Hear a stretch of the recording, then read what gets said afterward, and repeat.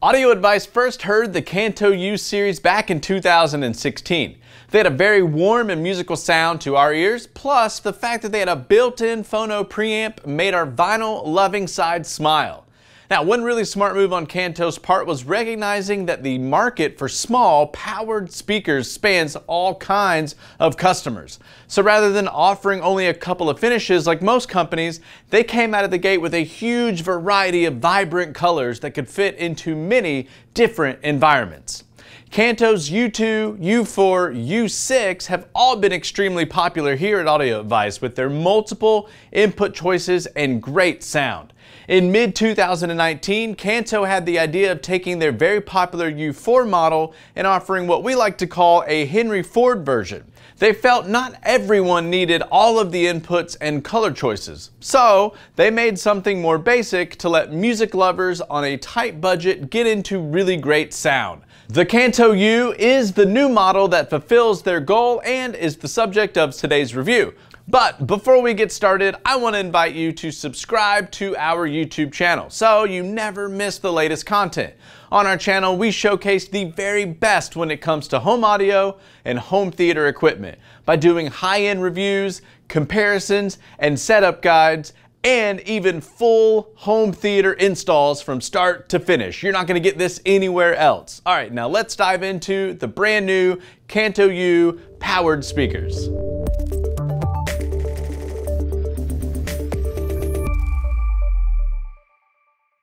Much like the YU4, the YU is a compact speaker. It is designed to be an all-in-one speaker where the only thing you'll need is an audio source to start playing some tunes.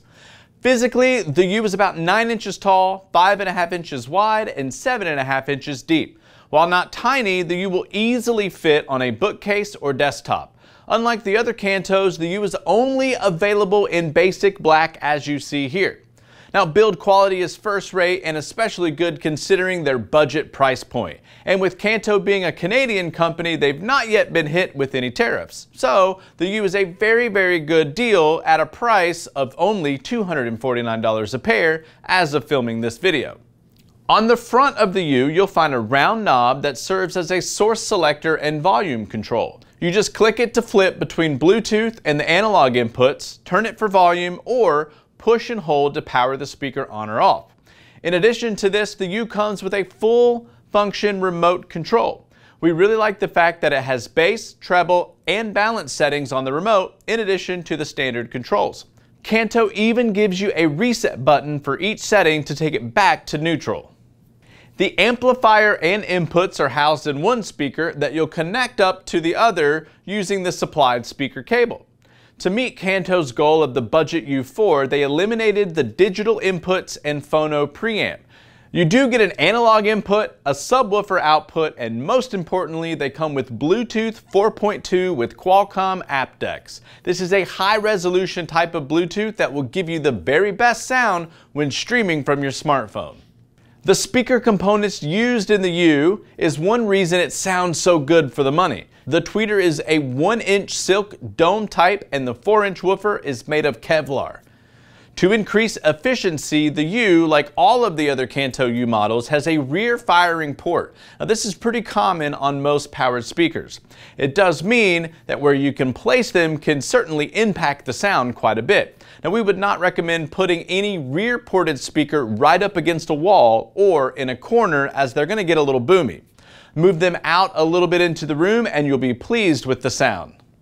The YU has an internal amplifier to power the speaker components. This type of design has a huge advantage in that the designer of the amp knows precisely what type of load the amp is going to be seeing. So with this knowledge, the amplifier can be made to a perfect match for the speakers.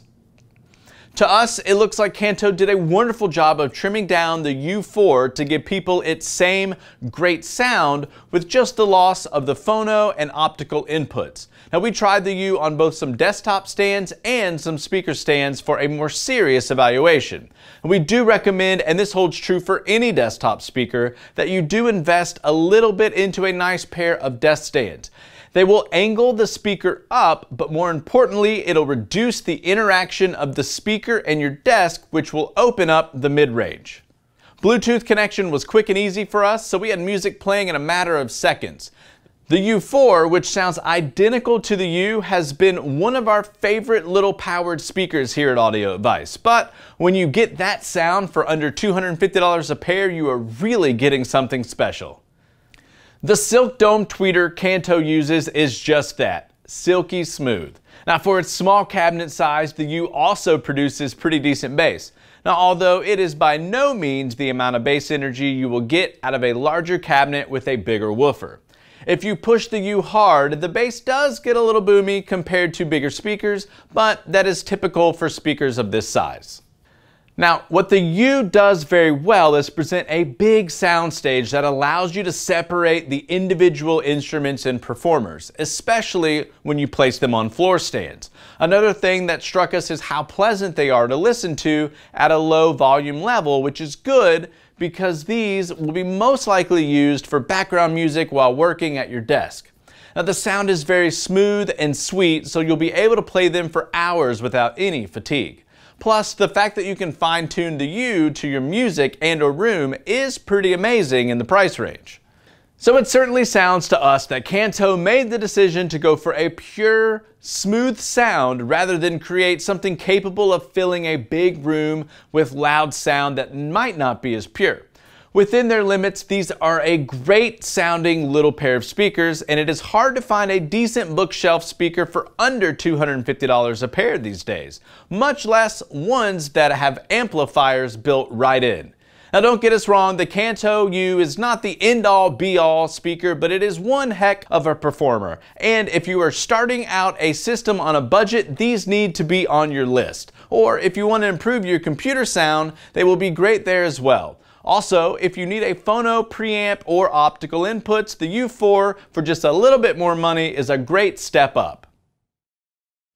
Thanks for watching this video. If you enjoyed it and found it helpful, please give it a like. And again, be sure to subscribe to our channel for more great home audio and home theater content. Thanks for watching and we'll see you next time.